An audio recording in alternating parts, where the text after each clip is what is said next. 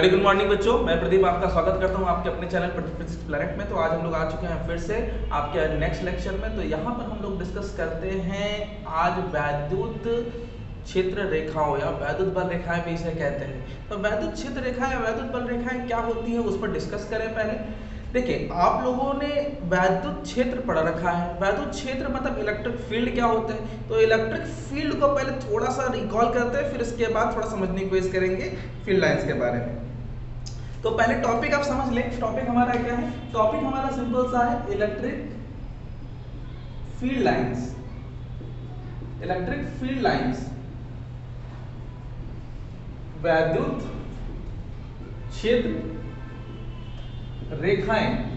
थोड़ा डिटेल में समझेंगे बच्चों, और इसको आज हम लोग पूरी तरीके से एनकाउंटर करेंगे कि ये होता क्या है। जैसे देखिए कि अगर मैं यहाँ पे क्लास ले रहा हूँ तो पर्टिकुलर क्लास में जब मैं बात करना शुरू करता हूँ तो मेरे से साउंड वेव्स निकलते हैं। और ये साउंड वेव्स आगे चलते हैं और एक पर्टिकुलर रेंज तक पहुँचेंगे, एक निश्चित क्षेत्र तक पहुँचेंगे।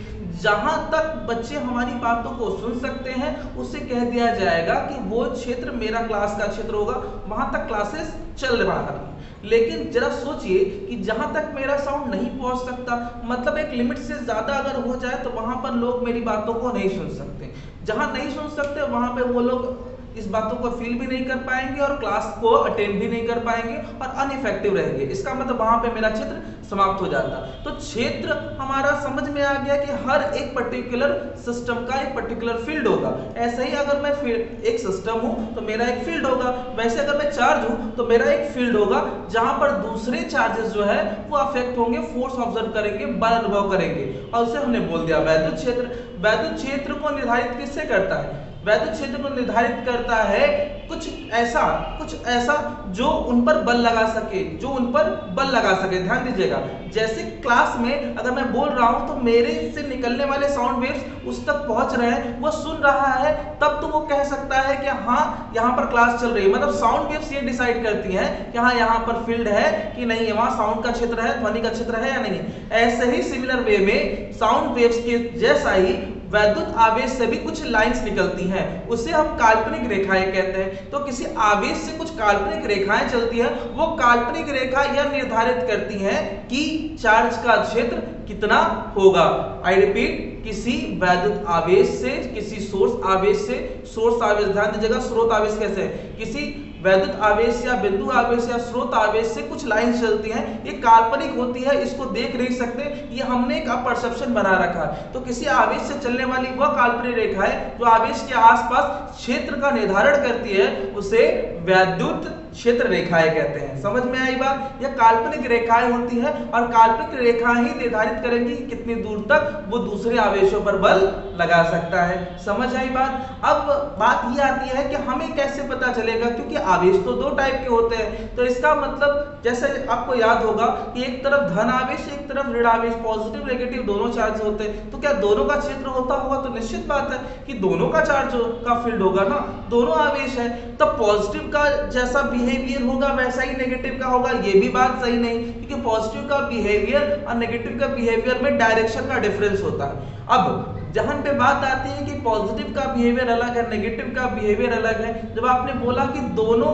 फ़ील्ड इफ़ेक्ट ही देंगे तो बिहेवियर कैसे चेंज होगा, वो कैसे समझ में आएगी? तो हमने उसको कैटेगरी में डिवाइड कर दिया है कि अगर पॉजिटिव होगा तो पॉजिटिव का काम क्या होता है? दूसरे पॉइंट चार्जेस को पुश करना। राइट पुश करना, ढकेलना। और नेगेटिव चार्जेस का काम क्या है? अपनी ओर अट्रैक्ट करना। बेसिकली अपनी ओर अट्रैक्ट करने का काम किसका है? नेगेटिव का है। एक छोटी सी बात और दिमाग में, जहन में हमेशा हमेशा के लिए फिट कर लीजिए। कि वैद्युत आवेश की पहचान, उसका प्रतिकर्षण गुण होता है। उसका आकर्षण तो होता ही है, लेकिन स्पेशल प्रॉपर्टी प्रतिकर्षण होता है। याद रखिए, हमेशा काम देगा। अब वापस से हम लोग फ़ील्ड लाइंस के बारे में बात कर रहे हैं। तो फ़ील्ड लाइंस का मतलब क्षेत्र रेखाओं का मतलब पॉजिटिव का बिहेवियर अलग है नेगेटिव का बिहेवियर अलग है। पॉजिटिव का काम है पुश करना, दूसरे पॉइंट चार्जेस को, बिंदु परीक्षण आवेशों को ढकेलेगा और वहीं अगर नेगेटिव चार्ज आकर्षित करता है तो इस तरीके से हमने इनके अलग अलग गुणों को डिफाइन करना स्टार्ट कर दिया मतलब अभी तक तो आपने केवल वैद्युत क्षेत्र रेखाओं को सुना जब भी आप किसी से बात करते हो ना तो सबसे पहले तो उसके एग्जिस्टेंस के बारे में पूछते हो कि आप कैसे एग्जिस्ट करते हो। फिर उसकी प्रॉपर्टीज़ पूछते हो कि आपके गुण क्या है। तो ऐसे ही हम लोग वैद्युत क्षेत्र रेखाओं को जैसे ही सुनते हैं कि काल्पनिक रेखाएँ हैं, जो कि किसी आवेश का क्षेत्र निर्धारित करती हैं, और चलती किससे है? आवेश से ही चलेगी, और कहाँ से? तो वैद्युत आवेश से ही चल रही वैद्युत आवेश का ही क्षेत्र निर्धारित कर रही है तो इसके गुण भी कुछ होंगे, जिससे ये जाना जाएगा। तो एक एक करके इसके गुणों पर ही बात करनी है। तो आइए एक एक करके इसके गुणों पर बात करेंगे, लेकिन उससे पहले इसकी डेफिनेशन समझेंगे। किसी? बिंदु? आवेश? अथवा स्रोत आवेश? से चलने वाली? वह काल्पनिक रेखा है काल्पनिक इसलिए क्योंकि हम सिर्फ़ अपने इमेजिनेशन में इसको पढ़ते हैं, दिखता नहीं एग्जिस्ट भी नहीं करेगा फ़िलहाल। लेकिन लेकिन जैसे साउंड वेव्स को नहीं देख सकते तो क्या साउंड वेव्स एग्जिस्ट नहीं करते? ऑफ़ कोर्स करते हैं, लेकिन हम इसके इफ़ेक्ट को देखते हैं। वैसे ही यहाँ पर भी वही कहानी है। चलने वाली वह काल्पनिक रेखाएँ, जो वैद्युत क्षेत्र निर्धारित करती है। निर्धारित करती है। कॉमा वैद्युत क्षेत्र रेखाएँ कहलाती हैं।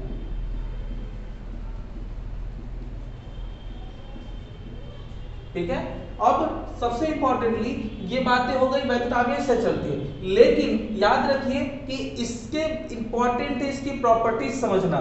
तो ये लाइंस कैसी होंगी और कब तक चलेगी? तो हम लोग तो इंसान है तो हमसे साउंड एक लिमिट तक चलेगी और जब हम चाहेंगे, रोक देंगे।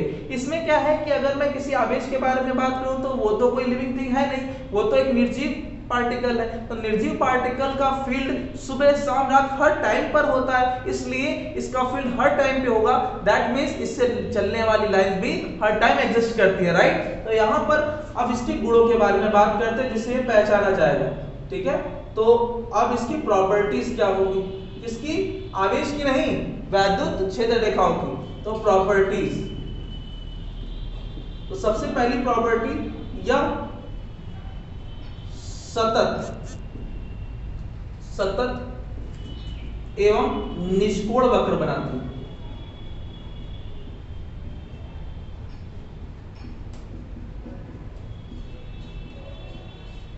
निष्कोण वक्र बनाती है। निष्कोण बनाती है या फिर आप कह सकते हैं निष्कोण बना, वक्र बनाते हुए चलते हैं। ये निष्कोण और सतत का मतलब क्या है? सतत का मतलब होता है लगातार कंटिन्यूअस लगातार चलती रहती है। तो इससे आवेश ऐसा नहीं है कि किसी एक टाइम पर चलेंगे अगले टाइम पर नहीं चलेंगी। ये लाइंस लगातार चलती हैं और चलती रहती है। निष्कोण का मतलब होता है इसका कोई कोण निर्धारित नहीं होता है। याद रखिएगा, निष्कोण का मतलब जिसका कोण निर्धारित ना उसे निष्कोण कहते हैं राइट तो ये सतत रूप से चलती रहती है। दूसरा, अब मैं इसके बारे में बात करूँ तो अब पॉजिटिव चार्ज का ये फ़ील्ड कैरेक्टरिस्टिक कैसा होगा? तो यह धनावेश के लिए, धनावेश के लिए, पहले समझेंगे डायग्राम से। तो ये हमारे पास पॉजिटिव चार्ज है, ये हमारे पास नेगेटिव चार्ज है। तो दोनों का अगर अमाउंट सेम है तो दोनों का इफ़ेक्ट सेम ही होना चाहिए राइट तो ये भी इफ़ेक्ट देगा, ये भी। लेकिन दोनों का फ़ील्ड कैरेक्टरिस्टिक अलग अलग होगा। कैरेक्टरिस्टिक का मतलब होता है लक्षण। दोनों के लक्षण अलग अलग होंगे। इसका काम क्या होता है? पुश करना और इसका काम क्या होता है? अट्रैक्ट करना। तो इसका मतलब हमने इससे चलने वाली लाइंस पहले डिसाइड कर ली, जो इसका क्षेत्र निर्धारित करेगा। तो ये इसका क्षेत्र निर्धारित कर देता है राइट ये इसका क्षेत्र है। और अगर मैं इसके क्षेत्र के बारे में बात करूँ तो इसके क्षेत्र में भी कोई कमी नहीं है।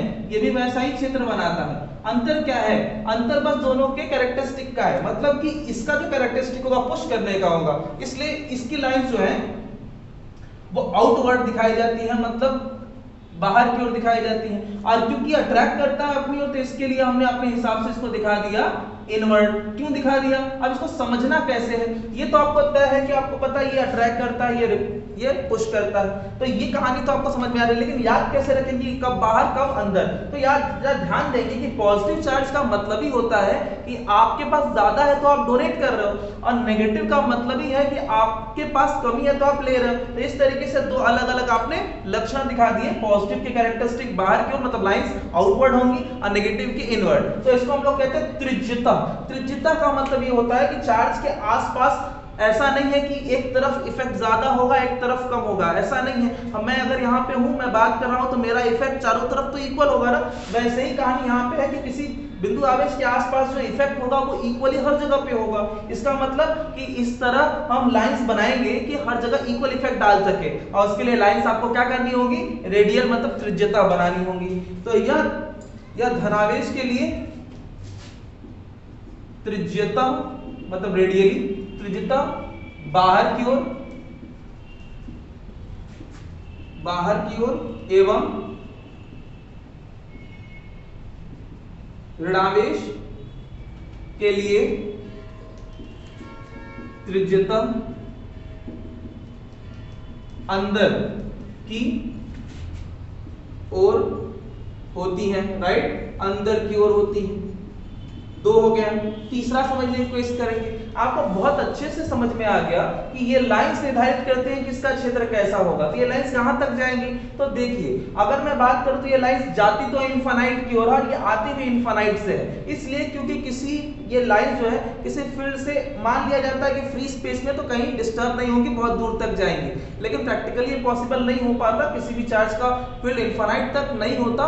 मानने के आधार पर हम बोल देते हैं कि ये फ़ील्ड इन्फानाइट तक, क्षेत्र इसका इन्फानाइट तक फैला हुआ है, लेकिन आइडियली ये ऐसा पॉसिबल नहीं है। ओके तो नेक्स्ट अगर मैं बात करूँ, धनावेश और ऋण आवेश के लिए तो अगर मेरे पास पॉजिटिव चार्ज और नेगेटिव चार्ज दोनों है तो क्या होगा? तो सीधी सी बात है, इसकी रिक्वायरमेंट है और इसकी रिक्वायरमेंट क्या है? लेने की। ये दे सकता है। तो इसकी लाइंस यहाँ से ड्रॉ होंगी और कहाँ पे चली जाएँगी? नेगेटिव की ओर। ड्रॉ होंगी नेगेटिव की ओर चली जाएँगी। ध्यान से समझिएगा। तो पॉजिटिव से ड्रॉ हो रही है नेगेटिव की ओर जा रही है। पॉजिटिव से ड्रॉ हो रही है नेगेटिव की ओर जा रही है। तो ये देखिए। लाइंस क्यों? क्योंकि इसकी ज़रूरत थी। इसकी ज़रूरत थी, इसको चाहिए था लाइंस ये लाइंस चाहिए थे और ये लाइंस ड्रॉ करता है। और ये लाइंस इधर से आप पीछे की ओर इधर ड्रॉ कर सकते हो। ये बहुत दूर से जाकर के इसमें एंटर करेगी और ये कुछ इस तरीके से। ध्यान दीजिएगा, इसको थोड़ा डायग्राम को थोड़ा सेपरेट होकर बनाएँगे। एक दूसरे के ओवरलैप नहीं करना है आपको। तो ये लाइन देखिए, बाहर की ओर जा रही है ना, क्योंकि ये डोनेट करता है और ये एक्सेप्ट करता है, इसकी लाइंस अंदर। धनावेश रेखाएँ माइनस की ओर समाप्त होती है। किसमें? यदि धन और ऋण मतलब विजातीय आवेश हो तो विजातीय आवेशों में रेखाएँ प्लस से चलकर माइनस की ओर समाप्त होंगी, जबकि इसके पीछे वाली रेखाएँ बाहर की ओर और इधर अंदर की ओर आ रही होंगी, जो कि दूर से जाकर के एक दूसरे के पास फिर से जाकर के मिलेंगे। अर्थात विजातीय विजातीय आवेशों में क्षेत्र, रेखाएँ धनावेश से चलकर ऋणावेश में समाप्त होती है। ठीक है? जो इसकी निश्चित दिशा निर्धारित करती है, समाप्त होती ये इसकी थर्ड प्रॉपर्टी होगी। आई चौथी प्रॉपर्टी देखते सजातीय आवेशों में सजातीय आवेशों में क्षेत्र रेखाएँ। क्षेत्र रेखाएँ एक दूसरे से, एक दूसरे से प्रतिकर्षित होती हैं।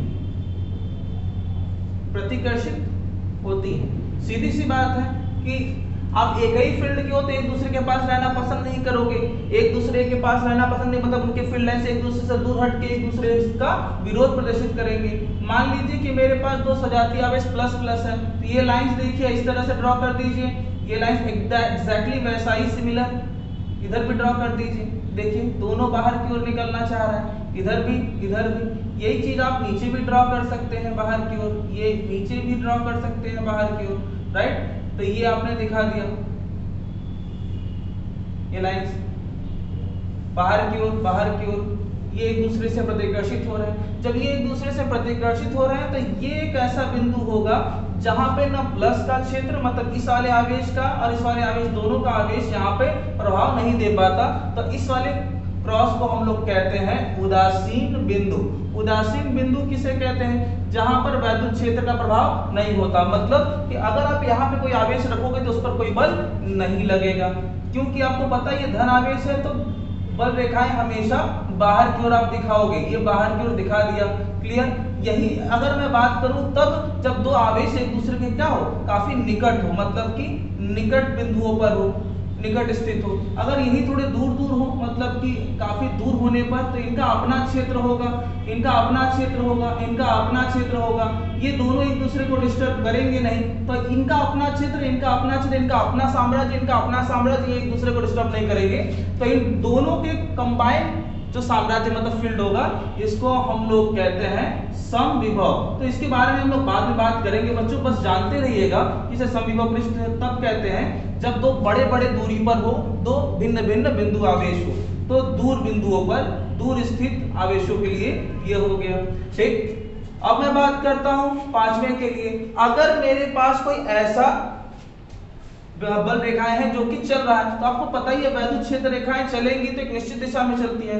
तो दो क्षेत्र रेखाएँ, दो क्षेत्र रेखाएँ एक दूसरे को कभी नहीं काटती, एक दूसरे को कभी नहीं काटती। काटती।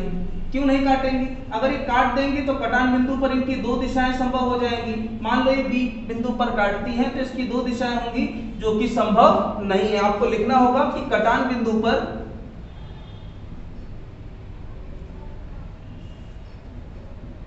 यदि काटेगी, तब कटान बिंदु पर दो दिशाएँ, देख रहे हो? दो दिशाएँ निरूपित होंगी निरूपित होंगी, जो असंभव। जो असंभव मतलब एक ही कटान बिंदु पर दो दिशाएँ इसका मतलब वो एक दूसरे का प्रभाव यहाँ पे समाप्त कर देगी, जो कि पॉसिबल नहीं कि दो वैद्युत क्षेत्र रेखाएँ जिसे काट करके वहाँ का वैद्युत क्षेत्र समाप्त कर दे। इम्पॉसिबल है, ठीक है? नेक्स्ट सिक्स वैद्युत आवेश की मात्रा। वैद्युत आवेश की मात्रा। मात्रा, वैद्युत क्षेत्र रेखाओं वैद्युत क्षेत्र रेखाओं के अनुक्रमानुपाती होती अनुक्रमानुपाती होती अर्थात जितना ज़्यादा आवेश होगा, मान लीजिए अगर कोई क्यों आवेश है तो क्यों आवेश से अगर चार रेखाएँ निकलती है? मान लीजिए कि क्यों आवेश से चार रेखाएँ निकल रही है तो टू क्यों आवेश से कितनी रेखाएँ निकलेंगी? और ज़्यादा निकलेंगी, इसका मतलब कि और ज़्यादा क्षेत्र होगा स्ट्रॉन्ग क्षेत्र होगा। जितना ज़्यादा क्षेत्र रेखाएँ, उतना ज़्यादा स्ट्रॉन्ग होगा वैद्युत क्षेत्र। मतलब टू क्यू से आठ रेखाएँ निकलेंगी? तीन क्यू से कितनी निकलेगी? तिगुना निकलेगा मतलब बारह रेखाएँ निकलेंगी। तो जितना ज़्यादा आवेश की मात्रा, उतनी ज़्यादा रेखाएँ। और जितनी ज़्यादा रेखाएँ, वैद्युत क्षेत्र का परिमाण, वैद्युत क्षेत्र की तीव्रता उतनी ज़्यादा होगी राइट तो मतलब बहुत ज़्यादा वैद्युत बल लगाएगा वो क्षेत्र। मतलब इसमें सबसे ज़्यादा वैद्युत क्षेत्र रेखा है मतलब सबसे ज़्यादा वैद्युत बल लगाएगा।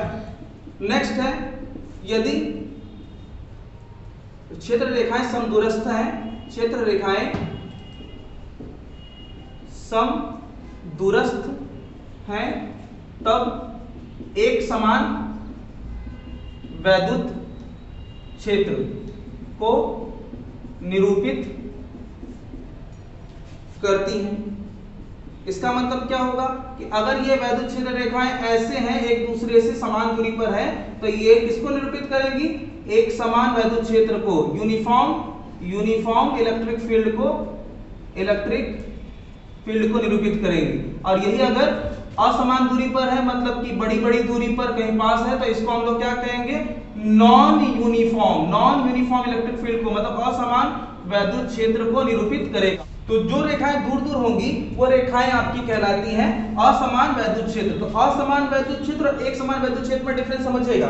जो रेखाएँ पास पास हो रही हैं, उन रेखाओं को हमने क्या कह दिया? एक समान और जो रेखाएँ दूर दूर, उनको असमान। तो इस तरीके से हमने वैद्युत क्षेत्र के सारे गुणों को डिस्कस कर लिया है। वैद्युत क्षेत्र के गुणों के बाद अब हम लोग एक पड़ाव पार कर चुके हैं। अगले पड़ाव में पहुँचेंगे तो बात करेंगे वैद्युत फ्लक्स के बारे में। क्या होता है वैद्युत फ्लक्स? जानेंगे इसके बारे में। तब तक करना है आपको वेट और इन चीज़ों को अच्छे से पढ़ करके समझ लेना है। कोई भी डाउट हो गया आप हमसे